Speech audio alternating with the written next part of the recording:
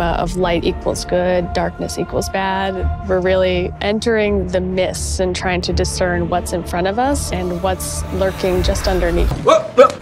Here I come.